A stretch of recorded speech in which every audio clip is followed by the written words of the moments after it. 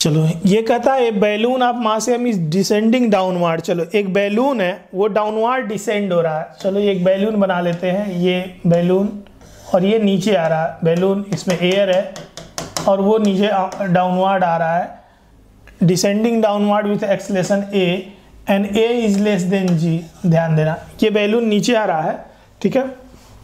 How much mass should be remove from it so that it move upward अब इस balloon से मैं कितना मास बाहर निकाल लूँ जिससे ये ऊपर जाने लगे यार? तो अगर बैलून नीचे आ रहा है तो उस पर फोर्सेज कौन कौन से लग रहे हैं? सबसे पहले ये देखो। अगर बैलून नीचे आ रहा है तो नीचे क्यों आ रहा है? क्योंकि उस पर वेट एमजी नीचे लग रहा होगा। और बैलून वैक्यूम में तो रहेगा नहीं यार। अगर वैक्यूम में होता तो ये नीचे हमेशा आता। ठीक है? लेकिन बैलून एयर में होता है तो उस पर एयर का थ्रस्ट ऑफ़ थ्रस्ट ऊपर लग रहा होगा एयर का फोर्स ठीक है? उसको मैं एफ़ बोल दे रहा हूँ, जो एयर ऑफ़ थ्रस्ट लगा रही होगी। थोड़ा सा भी अगर फ्लूड पड़े हो तो आपको पता होगा कि एयर चारों डायरेक्शन में रिजल्टेंट नेट एयर का रिजल्टेंट फोर्स अप थ्रस्ट है। जो भी एयर ऐसे फोर्स लगा रही है वेक्टर उन सभी वेक्टर को रिजोल्व करने के बाद जो भी आया है वो ऊपर है। अब ऑब्वियसली एम ज़्यादा है, तभी तो नीचे आ रहा है। और ऊपर कैसे जाएगा? जब एफ़ ज़्यादा होगा, ठीक है? तो पहले केस में, पहले केस में इक्वेशन लिखूं मैं, बोलो एम जी माइनस एयर का force F mass of the balloon और एक्सलेशन है इक्वेशन नंबर फ़र्स्ट अब ये कहता मैं इसे कितना मास बाहर निकाल दूँ? जिससे ए एक्सलेशन से ही ऊपर जाए, ठीक है? चलो तो मान लो इस बैलून से, इस बैलून से मैंने कुछ मास ठीक है? कुछ मास मैंने निकाल दिया एम नॉट एम नॉट मैंने बाहर निकाल दिया, जिससे एम जी क्या हो गई? कम हो गई।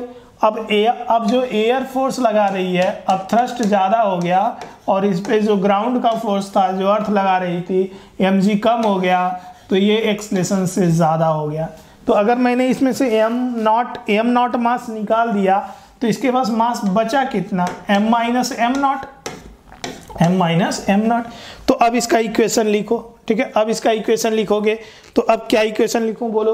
तो F T F balloon air का force minus M minus M nought M minus M nought G mass इसका एम डैश हो गया होगा, ठीक है? इसका एम डैश ठीक है?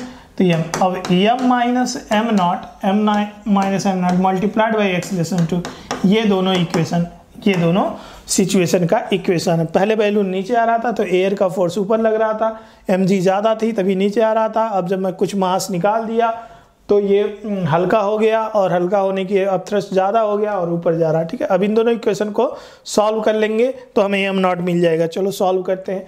तो इसमें मल्टीप्लाई कर F minus F M G minus plus M nought G that is equal to M A minus M nought A ठीक है ना? क्लियर है? चलो एफ़ माइनस एम जी कितना है? एफ़ माइनस एम जी यहाँ से एफ़ माइनस साइन लगा दोगे तो F minus M G is equal to minus M A के इक्वल होगा यहाँ से। और ये ले जाके यहाँ पर रख दो। ठीक है? एफ़ माइनस एम जी कितने के इक्वल है? माइनस एम ए के। तो माइनस एम ए इधर से आया एम नॉट जी इधर से आया और एम ए इधर से आया और माइनस एम नॉट ए अब हम लोगों को क्या चाहिए? हम लोगों को तो एम नॉट चाहिए और एम नॉट कहाँ है? यहाँ है यहाँ है। तो ये ए इसका मतलब ये हुआ कि एम नॉट इधर आया तो M nought M nought common हो गया और ए प्लस जी बचा और ये उधर गया तो ये आ जाएगा टू एम ए तो इसका मतलब ये हुआ कि M nought is equal to two M A और divided by A plus G मतलब अगर इतना मास निकाल दोगे तो बैलून ऊपर जाने लगेगा। Two M A A plus G two M A plus G है भाई, है है। Two M A A plus G इतना मास रिमूव कर दोगे तो बैलून ऊपर जा